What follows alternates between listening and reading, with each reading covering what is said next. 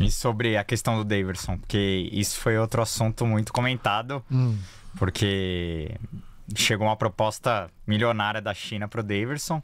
Parece que ele já tava até de mala pronta para ir. E aí o Filipão barrou a, a, venda dele, né? Muita, muita gente da torcida ficou brava na época, porque era uma grana realmente absurda.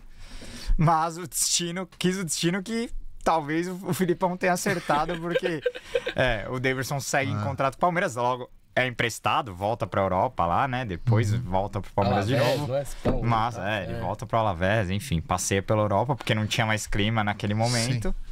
E aí retorna e faz o gol da Libertadores, né? Mas. Tá e, e, como que é, e como que são essas decisões? O Filipão te pergunta, e aí, Tchê, você acha que tem que ir? Ou ele não te consulta quando é uma decisão desse não, tamanho assim? Quando, é, às vezes ele, ele pergunta, assim, sabe? Às vezes é uma coisa, até ele faz reuniões com, com nós, assim, é, pra, sobre isso, especificamente, assim. Mas às vezes ele, como Filipão, ele tem que tomar uma decisão e pronto, e ele toma a decisão. E, e essa questão do Davidson, assim, é são convicções, né? São convicções. É, existe também o, o Daverson é, tinha sido goleador do ano anterior, né? Sim. E nós estamos falando aqui, essa proposta chegou em janeiro de 2019, né? Em janeiro de 2019. Não foi em julho de 2019, na, na época da, da parada para a Copa América. Foi bem no início do ano. Foi em janeiro. Quem fez o gol do título? Deivinho. Deivinho, lógico. Ele foi um cara que. Eu me lembro, gente, que quando eu cheguei no Palmeiras, eu e o Carlão chegamos no Palmeiras, é, o Borja estava machucado e nós íamos jogar contra o Bahia. Assistimos o jogo contra o América e nós íamos jogar contra o Bahia. E foi anunciado o, que o Daverson ia jogar contra o Bahia. Eu tive que fechar minhas redes sociais. Gente xingando? Gente xingando. Por causa do Davidson. É verdade. Não, a torcida não gostava não dele gostava, Não gostava. Eu tive que fechar, pronto, né? Respeitar, porque o professor gosta de jogar com, com o homem referência, do jeito que é o Davidson, e aí o Borja não podia, porque o Borja estava com problema na coxa, e aí foi anunciado que o Davidson seria o cara.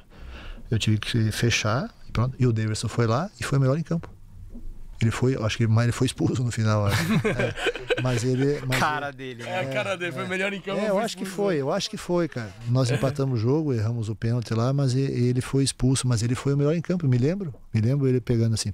Então, assim, o Daverson, como outros personagens do futebol, é, é isso, são coisas que só acontecem com o Daverson entendeu? Então, assim, Pô, nós acabamos o Campeonato Brasileiro super bem, estamos invicto. E ele jogando pra caramba. Ele não fez gol só contra o Vasco, ele fez vários gols. Sim. Contra Grêmio, contra Cruzeiro, Corinthians. Corinthians, São Paulo. São Paulo. Pô, era o cara naquele momento, assim. Era um dos caras naquele momento.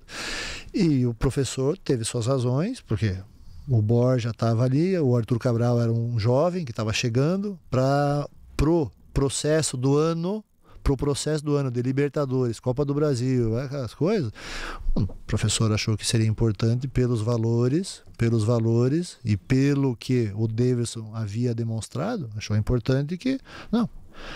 Ele sempre falou, ele sempre fala isso. Eu tenho minha opinião, tenho minha convicção. O clube está acima. Eu não quero que o Davidson vá. Ponto.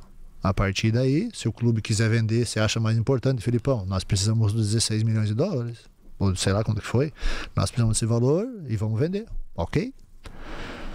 Mas todo profissional de qualquer área, e nós especificamente de do futebol, o professor é assim, eu também sou assim. Eu trabalho com convicções. Agora, eu não sou o dono do clube. Eu não sou o dono do clube. O dono do clube, o dono do clube é a torcida, mas quem tem a caneta é, é o presidente. Caneta, né? O peso da caneta é presidente, é diretor, é, é, sei lá quem que é, CEO eu dentro de campo. A minha ideia, a minha opinião é que ele fique. Ponto. A partir daí vocês tomam a decisão que vocês. Como aconteceu, por exemplo, aí, é, aí novamente, novamente, um dos motivos a, num clube recente que eu estava, o presidente queria que eu afastasse os jogadores. Eu não acho, ele não está me dando razão para eu afastar. Não está me dando razão. O senhor, como presidente, tem a caneta senhor é, é que comanda, o senhor tem o direito. Agora, não queira me jogar uma responsabilidade em cima de mim